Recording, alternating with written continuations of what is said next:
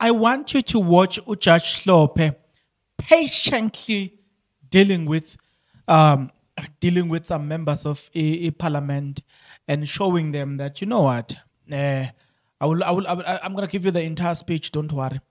But it was was busy there exposing them telling them showing them at the same time that listen uh, what you are doing you are destroying the judicial system. You understand? He breaks it down very nicely. So what i'm going to be doing in this video I'll, I'll allow you to watch that thing till the end so it's coming don't worry just give me time you know speaking about the judicial system and it's being destroyed by the very same people that are supposed to be defending that. It's a call, it's a cause for concern speaking about the budget. Because not long ago, the very same ANC who is now busy cutting budgets, he futhi yazi is talking about cutting budget. Phela budget yakhathwa lapha hey kwaqeda kwadliwa 500 billion. Hey ama comrade bafethu.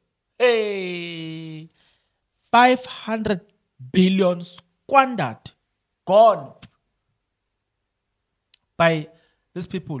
Now, today, instead of them understanding Guti, the judicial system, how it works, and the uh, Judge Hlophe talks about 40, even more cases that get to be postponed because of lack of budget. Uh, Amakota understaffed. You know, hey, it raises a lot of questions about the credibility and the interest of EEE, look, ANC. What is their interest? Vele, vele, vele, vele. And what is their interest? But I know our interest. Mina, I'm not confused. Yeah, but Mina, I know our interest. This is our interest. If you are not yet subscribed, what are you waiting for? Come on, good people. Because to subscribe, it is free. To like the video, it is free. To comment in the comment section below, it is free of charge. To click the notification bell, it is free of charge. To share this video, it is free of charge. To watch this video until the end, it is free of charge. Also, good people, I mean, come on, to watch the ads, it's free of charge, and that's how you financially contribute to this YouTube channel. Speaking about financially contribution to the channel, you can join, become a member of this YouTube channel from as little as 20 Rand a month. You can also uh, use the super thanks button. In case you don't want to do that, guys, there is a way where you can use my media company banking details to donate to the channel. And you know what I'm saying? Will bring you more and also guys want to buy more equipment. So the power is in your hands. Please do the honorable thing as we proceed. Okay um I, I, just just just just just just a few seconds.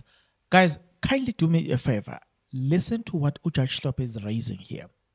Pay attention to each and every single thing raised by Ujaj Hlophe and tell me what you think about everything that is being said here uh, pay attention because I'm going to come back again and look and I'm, I'm going to ask you questions based on what Ujaj Hlophe had said. So pay attention. Like, pay attention. And you know what I'm saying? I wouldn't have said it better, but listen to listen exactly. Listen to exactly what Ujaj Hlophe is basically saying here. Thank you very much, Chairperson uh, Honorable Minister, Deputy Minister, Honorable Members of Parliament, I see some officials. Uh, good afternoon to all of you.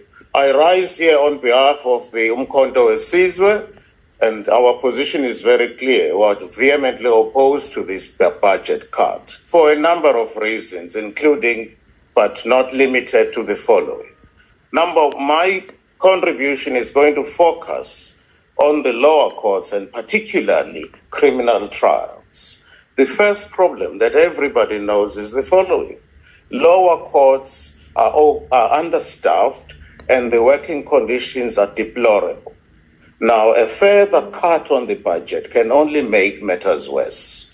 We all know, for example, if you go to the uh, magistrates' court now, where the, the court is busy, seized with postponements, each magistrate postpones 40 cases per day.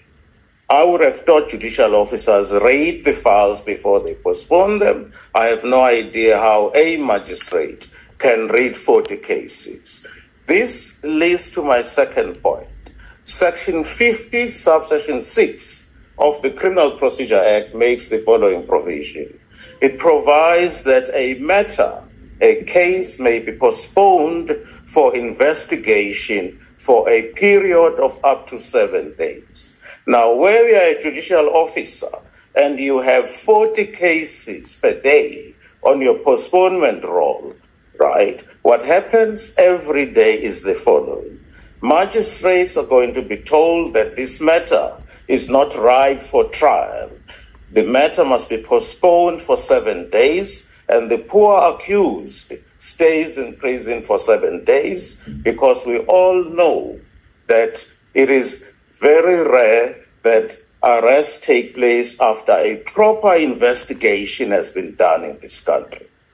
In an ideal situation, there must be a proper investigation. Once the investigation has been concluded, then the arrest may lawfully follow. So that you don't have a situation whereby a poor accused person stays in prison for seven days because the investigation has not been completed. If you think I'm lying, go to the magistrate's court anywhere in the country, you will see that. Provisions of Section 50, subsection 6 of the Criminal Procedure Act.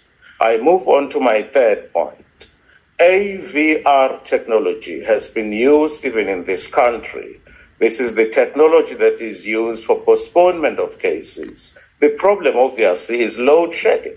You can't rely on electricity as long as we have load shedding in this country, you can't rely on technology, AVR technology for postponing cases. This leads me to the point that the Honorable Minister made about integrated system, right?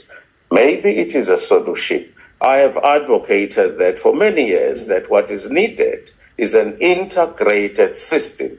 You have a center consisting of the judiciary, the police, and the courts. To that end, I try to introduce something very close to that here in the Western Cape.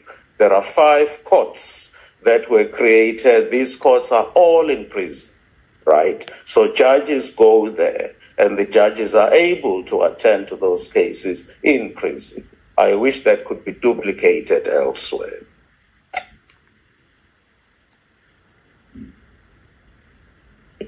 The problem is made even worse. I'm talking now about the backlog. The problem is made even worse because of the use of foreign language interpreters.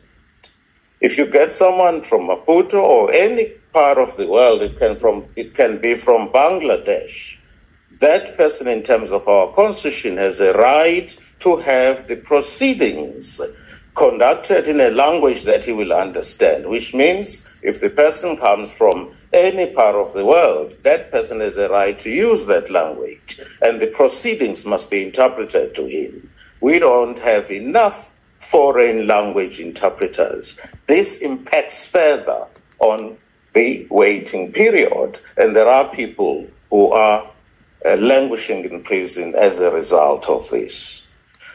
The other point I want to make is this the resources are limited, and one would have expected the prosecuting authorities to use those resources wide, wisely. Not widely, but wisely. I've seen instances, and I prefer not to mention anyone, where the, the prosecutors have charged accused for what appears to be clearly a common assault case. You find that the accused is charged in the regional court right? For common assault, you ask yourself, who is the who are who is sought to be pleased by the prosecutors? I prefer not to mention any name. It was a high profile person from one of the political parties. The charges against him, he was convicted of assault GBH. In my view, that conviction cannot stand. It should have been common assault. It was an open clap, not even a fist. So that, in my view, that trial should never have taken place in the regional court. It was an abuse of state resources to teach him a lesson. Honorable Dr. Hlophe. It was clearly an abuse Madam? of state resources. That trial should only have taken Dr. Hlophe. Uh, unfortunately, your time has expired. For the reasons stated above, we are vehemently opposed to the budget cuts. Thank you. Okay, okay. Now, number one, I want to understand from you guys, Uguti, if you look at the the judicial system and the number of cases that they've got to they've got to do out, look, they've got to look at the, the postpone. Don't you see, or don't you think that them cutting a budget, yeah, that is uh, that has to do with amateur judges? Don't you think that? Don't you see that? uh, that's a direct that they are directly depriving you uh, you justice because if they are cutting it they're cutting the budget the question that you have to ask is if they are cutting the budget how many more of case postponement that we're going to be seeing uh, from now going forward? Do you get a point? So that's what i'm saying. Don't you don't you see or don't you know that these people are directly affecting you right? From uh, like from uh, from getting justice in any way shape or form. But number two uh, people are unemployed and you are hearing that people are understaffed uh, within the, the judicial and you're asking yourself why don't you employ the pe- people? Why don't you give them manpower there? By employing people that needs to be employed in that space right? And that, that yet the very same anc claim to be fighting or claim to be ending poverty. How are they ending poverty when they are when they when when they perpetuate the very same poverty they claim to be ending? Like right now. Um, my argument is that right now, if Bonabati they are ending poverty, but there are spaces there, they could have just increased the budget and hire people, and it speaks of job creation. How much more? How much more evidence do you want us to give you to prove that ANC has ceased to be for the people, but now it looks like ANC is against the people? Like, I'm interested to know. Um, what- like tell me something what what do you want what do you want? What more evidence now do you want? Because oh ah ah mina ngisazi yazi. Ngenza njani? Ngiyolala. Ngiyekele ngoba angisazi yazi. Just these two points alone are enough to to say hey guys be careful of how you vote. You can't vote for people who doesn't care about you, especially after voting for them. You can't vote for for such people. You can't. You must punish them. You know, but ayanazi again nabanye bathi ANC will self correct. Eh mkhumbula that gogo waseSoweto ngize ngimkhohle even today I will vote ANC. ANC will self correct. ANC will come back. Well, few more few days later after voting the anc just decide we're not going to create jobs for you anyway. So what are going to do few days after that the anc brings you load reduction. I'm just wondering lo magogo wayethe i-anc will self-correct. I'm hoping and wishing ukuthi yena she doesn't stay in darkness. Because wow what anc will self-correct? During during campaign there was no load shedding whatsoever. Now load shedding is back in full swing. Uh, right okay right now they've announced a load reduction. There was no load reduction before look before uh, my elections right? Now there's load reduction. You say okay okay okay. So i'm just saying good guys le they are cutting budget instead of hiring you. And when are you still gonna go there vote for them? Hayi mina angisazi bani lo engani hayi angisazi yazi